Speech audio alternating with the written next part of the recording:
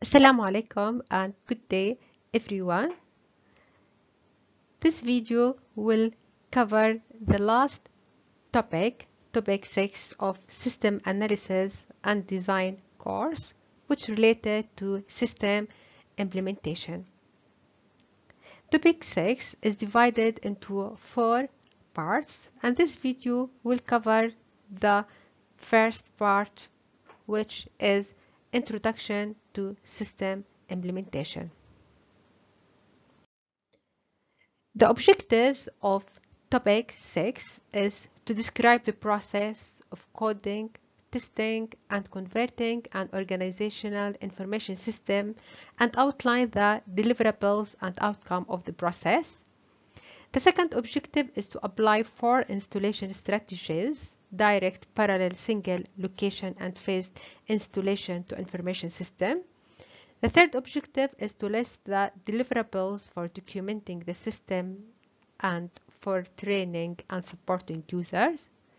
The fifth objective is to explain why system implementation sometimes fail.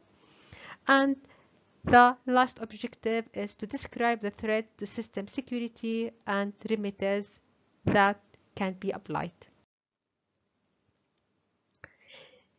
The major topics related to system implementation, as you can see in this slide, are six topics. In system implementation, we will go through introduction to system implementation a process which will be covered in this video. The second topic related to system construction, coding and testing, we will go through the definition of system construction coding and we will go through the various type of system testing and when to use each type of testing. The third topic, installation, we will go through the various type of system installation and we will have knowledge regarding when to use each installation strategy. Then we will also have knowledge regarding the considerations when planning the installation. In the fourth topic, documenting the system, we will go through generic guidelines for documentation and the various kind of documentation. The fifth topic, which is training and support, we will go through various type of training methods and also the approaches of supporting user. Finally, in the organizational issues, we will go through factors affecting the use of the system and we will go through security issues and finally project closure. First, we'll start with introduction to system implementation process. The system implementation is the process of ensuring that information system is operational and then allowing user to take over its operation for use and evaluation. This slide shows the location of the implementation phase in the system development life cycle. As you can see that the implementation phase is after the design phase and before the maintenance phase. And also this slide shows that the implementation stage consists of six major activities coding, testing, installation, documentation, training, and support. And these activities will be presented in details in this topic. There are three purposes for system implementation. Number one, to convert final physical system specification into working and reliable software. The second purpose is to document work that has been done. And the third purpose is to provide help for current and future users.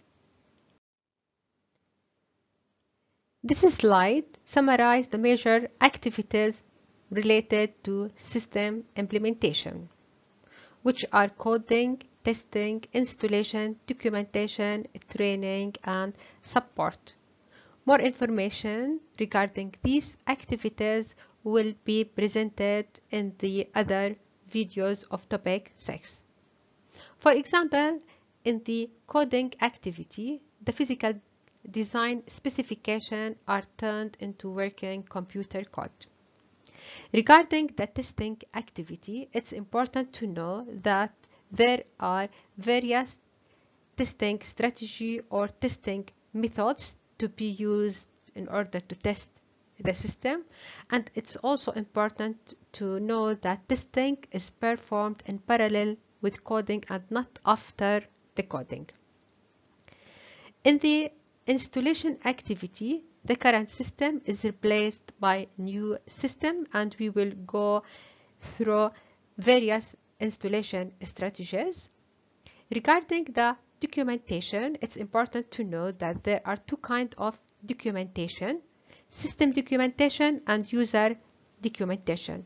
System documentation, which are instructions that will, will be given to information system personnel who will maintain the system throughout its productive life, such as developer or programmer, while user testing, which are instructions to be given to people who use the system as part of their daily life.